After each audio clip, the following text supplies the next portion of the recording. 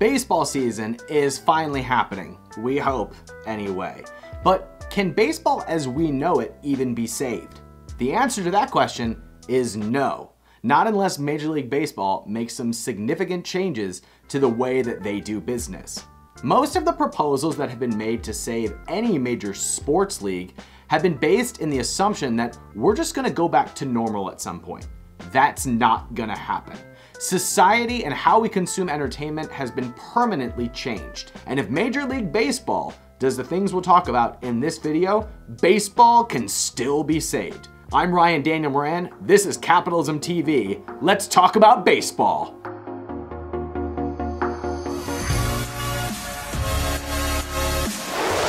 I'm about as big a baseball fan as they come, and I'm a really big Cleveland Indians fan. But if I was being fully honest, I wish that they had canceled this season. I'm not interested in a 60 game season, and even if the Indians win the World Series, I don't even really think that it counts. So we have to come up with a way to ensure that something like this never happens again, and if we don't act quickly, then Major League Baseball runs the risk of turning off even their most passionate fans. So if I was the owner of the Cleveland Indians or in charge of Major League Baseball, there's one very hard pivot that I would make right now. Major League Baseball has to lead the way on consuming sports via virtual reality. All the technology is already there for fans to have an immersive experience where they can choose their seat and choose which audio feed they tap into. Imagine being able to watch a sporting event from third base, or from the dugout, or from the pitcher's mound, or from the catcher's view. Imagine being able to tune into the audio feed that's coming from the dugout of your favorite team. Imagine hearing the banter between the players on the field rather than listening to a commentator.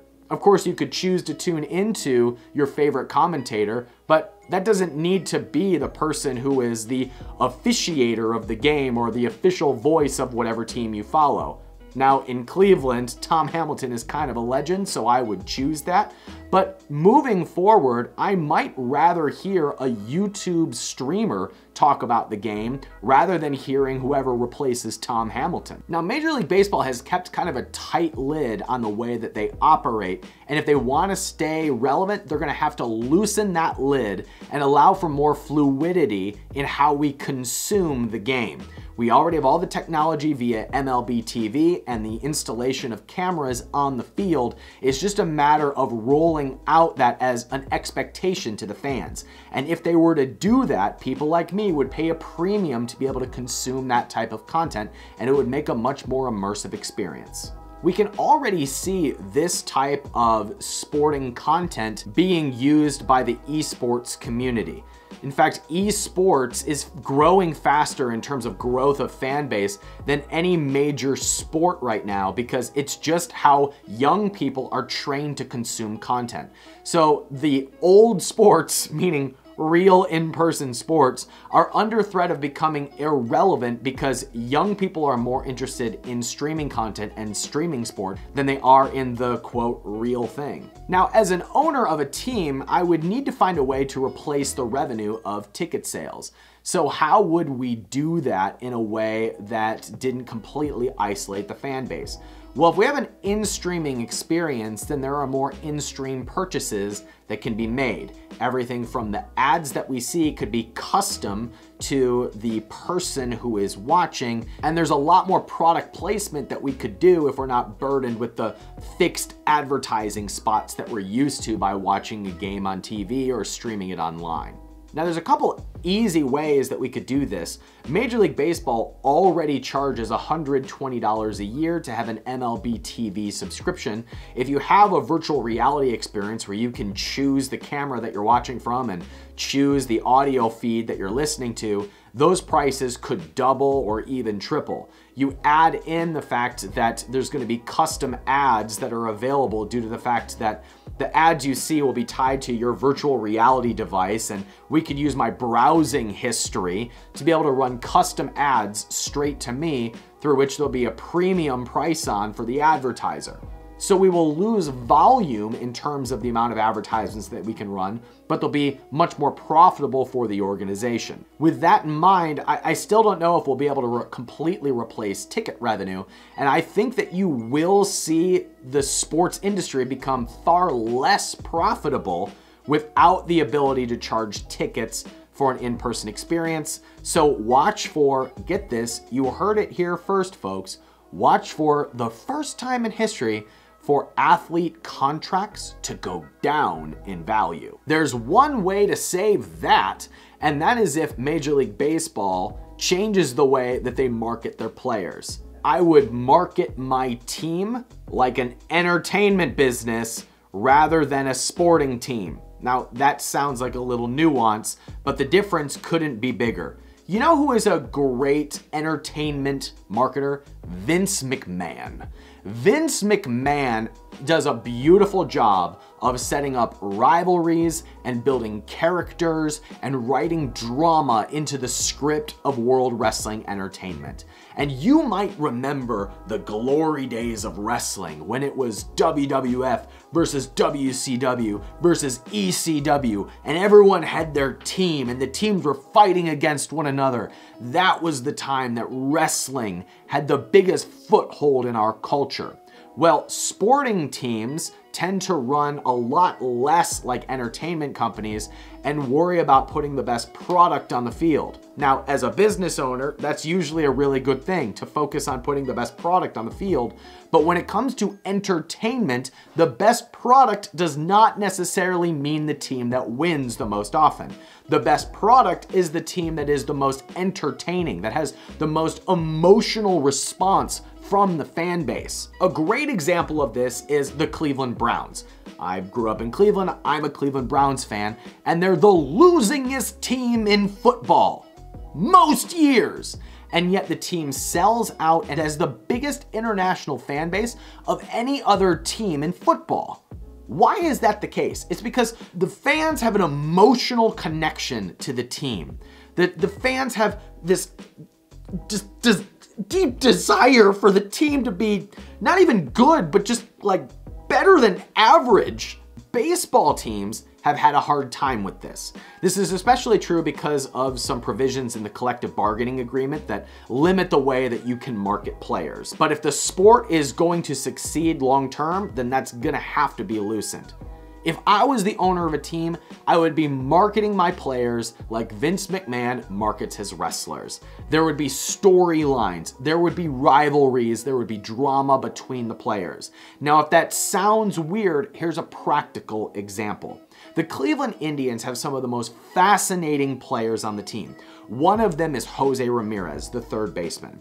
Jose Ramirez has a fascinating life story. He basically kept slipping through the cracks and getting to the next level, and the Cleveland Indians took a chance on him when he was a teenager. He kept just doing enough to prove himself to keep going, but the team kept working with him and developing him, and now he's a perennial MVP candidate. There's a fascinating story behind this man's life that is never told, and if I was at the helm, I would be doing docu-series and I would be doing full-length movies about this person's life in order to generate interest and to tell the stories of these players, which are so rarely told. If we look at some of the great baseball movies, like The Rookie, which I think is the greatest baseball movie, it tells the story about how a no-named baseball player rose to prominence. And unfortunately, we only tell those stories in the rearview mirror. If we tell those stories about the players that are playing right now, watch how fast the fan base starts to generate interest in these players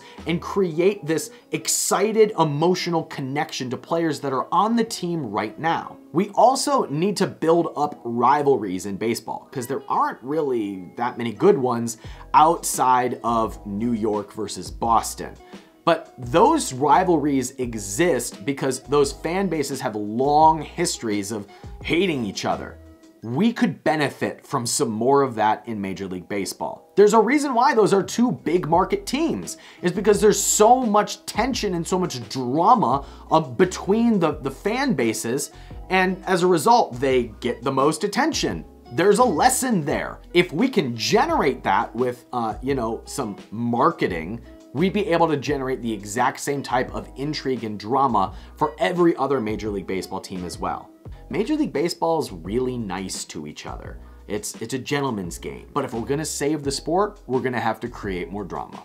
Now, lastly, one other way that we can generate extra revenue for the teams themselves is we can dramatically change the way that we build stadiums to where the in-person experience is more of an intimate experience rather than being part of a 40,000 person crowd. Now, I love hearing the roar of the crowd when the crack of the bat sends the ball over the fence. I mean, it's there's just nothing like it. Unfortunately, it's just not gonna come back. That experience is probably behind us. So instead, we have to cater to more corporate events and make them more intimate and more high touch with the players.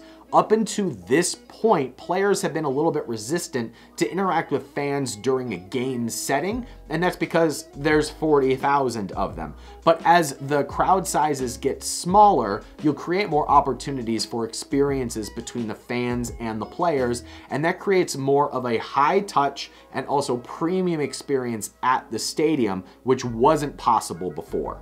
So all this to be said, the game still has a chance if it pivots really quickly. However, right now, the cards are stacked against us because Major League Baseball has over 100 years of history and over 100 ways of doing things things tend to change really slowly in Major League Baseball because we love our history and we love the way that we play the game. So rather than change the way we play the game, we have to change the way that we experience the game. Just like television changed the way that we experience the game, virtual reality will do the same thing. And Major League Baseball can lead the way on this and perhaps even patent some technology that they could license to other sports.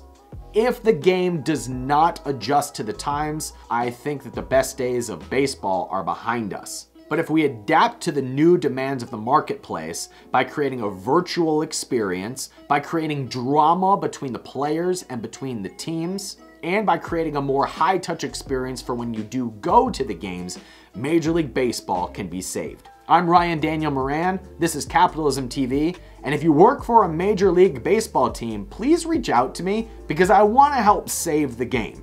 Thanks for watching this video. Subscribe to the channel and see you next time.